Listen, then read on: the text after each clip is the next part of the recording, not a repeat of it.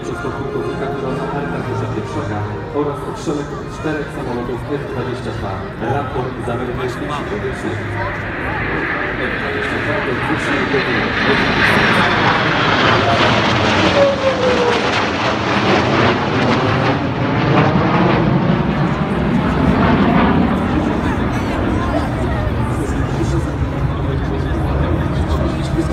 Thank you.